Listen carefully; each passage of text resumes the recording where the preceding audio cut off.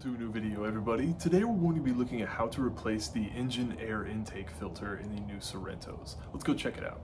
Now locating the air intake filter is super easy. It's right here in the front in this little duct box.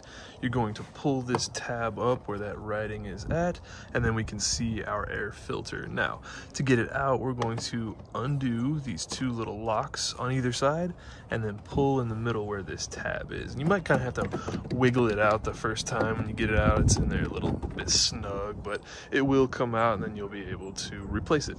And then you can slide your new filter right into place, lock it back down with the tabs on either side, and close your air duct box. And there you have it. It really is that easy to just change your own filters and it's going to cost you a lot less than going to a dealership and save you quite a bit of time. If you have any questions about changing your filters, let me know in the comments down below. I'll be leaving a link in the description to a replacement filter for your Sorento if you want to go ahead and do this yourself as well.